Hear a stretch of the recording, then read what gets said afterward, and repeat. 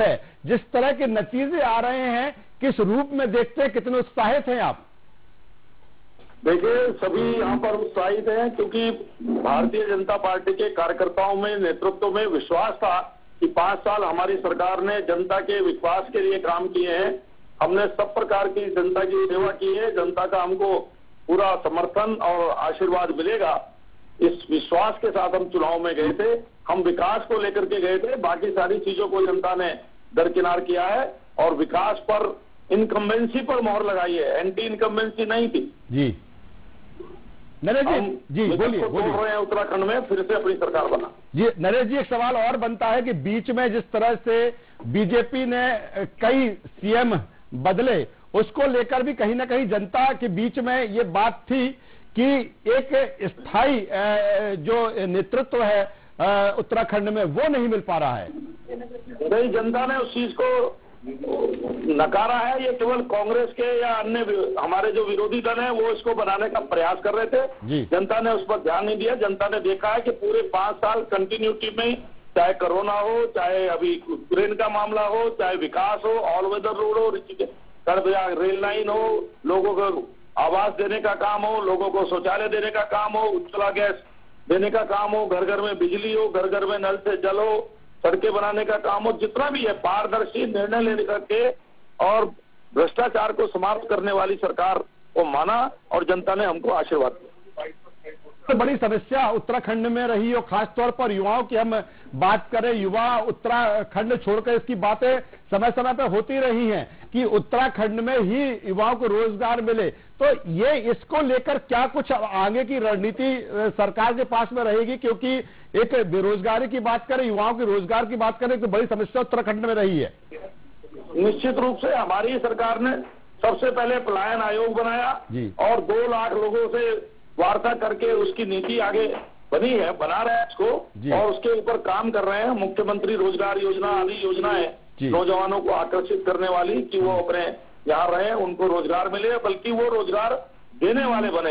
ये भारतीय जनता पार्टी की नीति है और आगे इसी नीति पर सरकार काम करे। हर चुनाव की अगर हम बात करें तो बीजेपी कहीं ना कहीं पीएम नरेंद्र मोदी के चेहरे पर सवार होती है। क्या ये जीत पीएम नरेंद्र मोदी की है? जिस तरह से उनकी जो योजनाएँ हैं केंद्र की जो योजनाएँ हैं उनको फॉलो किया गया क्योंकि उत्तराखंड को लेकर तमाम तरह के सवाल थे लेकिन आखिरकार फिर पीएम नरेंद्र मोदी का चेहरा सामने आता है। देखिए नरेंद्र मोदी जी आज विश्व की सबसे बड़ी पार्टी भारतीय जनता पार्टी का नेतृत्व कर रहे हैं और विश्व के सबसे लोकप्रिय नेता है। इसलिए हमारा ये सौभाग्य है कि हमको नरेंद्र मोदी जी जैसा विजनरी और हार्ड वर्क नेता मिला है ये हमारा सौभाग्य है और उनके नेतृत्व में भारतीय जनता पार्टी के कार्यकर्ताओं ने यहाँ के प्रदेश नेतृत्व ने कठिन मेहनत की है और जनता का विश्वास अर्जित किया है। जनता की सेवा में हम 24 फोर बाय सेवन हर समय जनता के बीच में रहे हैं। जनता ने उस पर मोहर लगाई। बहुत शुक्रिया नरेश बंसल जी राज्यसभा सांसद नरेश बंसल। हमसे जुड़े हुए थे काफ़ी उत्साहित नज़र आ रहे हैं जिस तरह से उत्तराखंड में बीजेपी परफॉर्म कर रही है। सत्तर सीटों में से जो तैतालीस सीटों के रुझान है, उसमें बीजेपी आगे है, तेईस सीट पर, यानी कि कांग्रेस काफ़ी पीछे चल रही है, तेईस सीटों पर कांग्रेस आगे है, जबकि 43 सीटों पर बीजेपी आगे है। और जिस तरह से वो कह रहे थे कि कहीं ना कहीं जो काम उत्तराखंड में हुए हैं, उनकी सरकार ने की है। हालाँकि ये अलग बात है कि चुनाव के पहले कई बार वहाँ पर मुख्यमंत्री बीजेपी को बदलना पड़ा, लेकिन यह भी कह रहे हैं कि जो चेहरा है, एक जो केंद्रीय नेतृत्व है, जो पीएम नरेंद्र मोदी का जो चेहरा है, उसका भी फ़ायदा लगातार पार्टी को मिलता रहा है। हमारे साथ सुनील चतुर्वेदी साहब जुड़े हुए हैं। सुनील जी, उत्तर प्रदेश को लेकर हम बात कर रहे थे और हमारी चर्चा जातिगत समीकरणों पर, जातिगत आधार पर चल रही थी। क्या कहेंगे? राजेश जी, मैंने आपसे कहा था कि सत्रह का चुनाव सपा और बसपा की धुरी डोल गई थी। बसपा के लोगों का डर था, उनके पूर्व वोटर का डर था कि अगर सपा सरकार में आ गई तो हमारा उत्पीड़न होगा। क्योंकि सियासत से और सड़क तक दोनों दलों के बीच में बड़ी अजीब रंजिश थी। यही स्थिति दूसरी पार्टी की थी।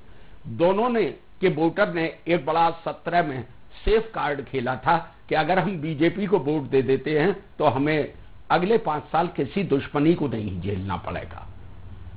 अन्य कारण भी हो सकते हैं बीजेपी के प्रचंड बहुमत लाने के उस दौर में, लेकिन ये भी एक ऐसा कारण था जिसे नकारा नहीं जा सकता। अब हम आते हैं इस चुनाव में पश्चिमी उत्तर प्रदेश की तरफ़। पश्चिमी उत्तर प्रदेश में इस गठबंधन को लेकर एक आशा व्यक्त की जा रही थी कि ये लोग जो है इस बार बीजेपी को बड़ा नुकसान देंगे, जो कि अभी दिख नहीं रहा है। उसके पीछे एक वजह थी कि चौधरी चरण सिंह का एक कोर वोटर वहाँ जाट था। लेकिन सत्रह में उसने भी भाजपा को वोट किया था, जो इस बार गठबंधन की तरफ़ जाता हुआ दिख रहा था। इससे गठबंधन के लोगों को और आम जो चुनावी दर्शक होते हैं, उनको ऐसा लग रहा था कि पश्चिमी उत्तर प्रदेश में गठबंधन एक बड़ा डेंट देगा। लेकिन वहाँ पर जो कोर वोटर के अलावा, जो चरण सिंह के कोर वोटर थे, उनके अलावा जो जाट था, उसमें बीजेपी की अपनी अच्छी सेंध लगी हुई थी। उनके अपने वोटर थे। गुजर बड़ी मात्रा में हैं वहाँ, गुजरों में उनके अपने जो है फॉलोअर्स हैं। ये सब मिलकर बीजेपी को कहीं लाभ पहुँचा रहे हैं और जितनी उम्मीदें लोग ज़ाहिर कर रहे थे बीजेपी को पश्चिमी उत्तर प्रदेश में क्योंकि सत्रह में 136 सीट में से 109 सीटें भाजपा के पास थी। इस बार हो सकता है कि कुछ कम होंगी लेकिन उतना नुकसान नहीं होगा। जो कि लोग उम्मीद चलिए सुनन जी मैं अगले सवाल पर आपके पास में आऊँगा। ताज़ा जो अपडेट है जो रुझान है अपने दर्शकों को एक बार फिर बता देते हैं। उत्तर प्रदेश की 403 विधानसभा की सीटें और जिसमें तीन सौ उनसठ यानी कि 360 के लगभग बीजेपी रुझानों में लगातार बढ़त बनाए हुए है। वहीं दूसरी तरफ़ अगर हम समाजवादी पार्टी की बात करें तो चौरानवे सीटों पर आगे है।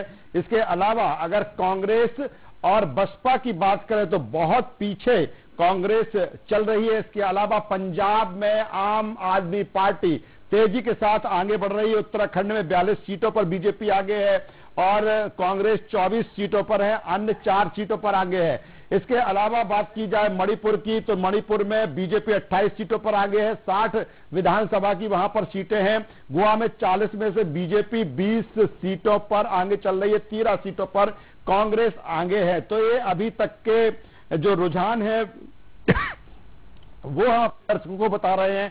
पंचानवे सीटों पर उत्तर प्रदेश में समाजवादी पार्टी आगे है, जबकि अगर हम बीजेपी की बात करें तो बीजेपी यहाँ पर 360 सीटों पर आगे चल रही है। लगातार चुनाव को लेकर हमारी चर्चा जारी है और खासतौर पर जिस तरह से देश का सबसे बड़ा, राज्य सबसे ज़्यादा वहाँ पर विधानसभा की सीटें और एक ऐसा राज्य जहाँ से कहा जाता है कि दिल्ली की जो सत्ता है, दिल्ली का जो संगठन है, उसका रास्ता उत्तर प्रदेश होकर ही जाता है। वो तमाम सारे प्रधानमंत्री जो उत्तर प्रदेश से आते रहे हैं और दिल्ली की सत्ता पर काबिज हुए, उसके सिंहासन पर बैठे पीएम नरेंद्र मोदी, भले गुजरात से हों लेकिन बनारस उनका संसदीय क्षेत्र है लोकसभा क्षेत्र है।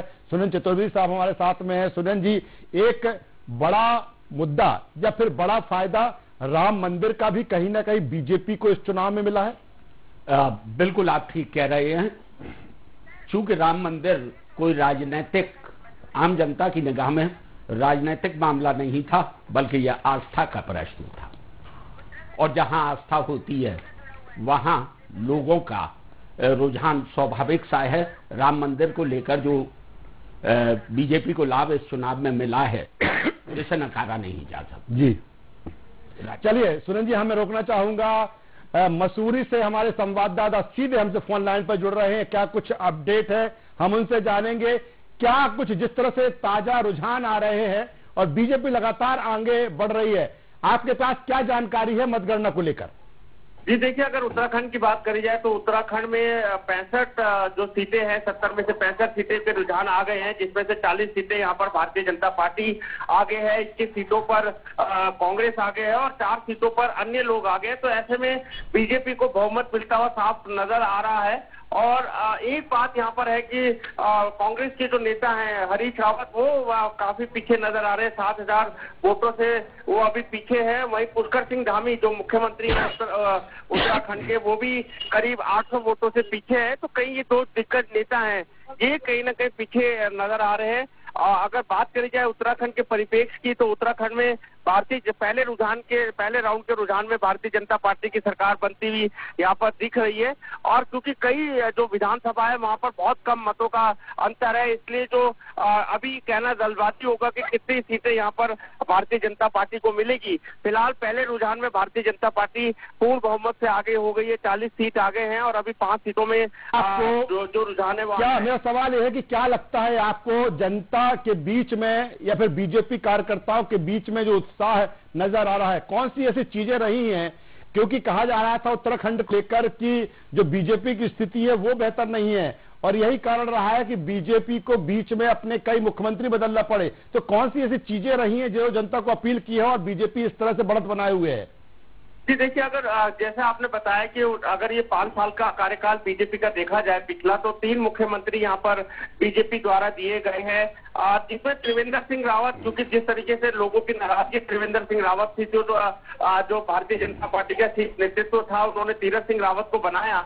पर तीरथ सिंह रावत भी कहीं ना कहीं खड़े नहीं उतर पाए। और उसके बाद पुष्कर सिंह धामी को यहाँ पर पूरा राज्य की कमान सौंपी गई और पुष्कर सिंह धामी के नेतृत्व में लगातार छह महीने की सरकार जो पुष्कर सिंह धामी की थी, लगातार डैमेज कंट्रोल करने में लगी रही। लोगों को कहीं ना कहीं भाजपा के पक्ष में करने में ये भी कह सकते हैं कि कामयाब हुई। और जो एक रुझान यहाँ पर शुरुआती दौर पर जिस तरीके से कई टीवी चैनलों ने रुझान दिया था कि इस बार कांग्रेस की सरकार बनेगी, क्योंकि उत्तराखंड के परिप्रेक्ष्य से बात करी जाए तो एक बार बीजेपी और एक बार कांग्रेस ये मिथक चलता आया है परंतु इस बार इस मिथक को भारतीय जनता पार्टी ने तोड़ दिया है और कई क्योंकि अब सरकार बनाने की ओर कहीं ना कहीं अग्रसर है तो भारतीय जनता पार्टी के आखिर में सुनील आखिर में मेरा सवाल ये है कि जब रुझानों में बीजेपी आगे दिख रही है किस तरह का परिदृश्य वहाँ पर देख पा रहे हैं बीजेपी और बीजेपी के नेताओं कार्यकर्ताओं के बीच में? क्या ढोल ढमाके मिठाइयाँ बटने लगी हैं? बस ये, अच्छा ये है कि अब जैसे जैसे रुझान आ गए चालीस से पार यहाँ पर भारतीय जनता पार्टी हो गई है तो कार्यकर्ताओं में खुशी की लहर है जश्न अब गई थोड़ी देर बाद यहाँ पर शुरू हो जाएगा तैयारियाँ हो गई हैं लोग एकत्रित होना शुरू हो गए हैं तो खुशी का माहौल साफ़ तौर पर देखा जा रहा है। और क्योंकि लोगों का ये मानना है कि जो पहला रुझान है उससे ही कई तस्वीरें साफ़ हो जाती हैं।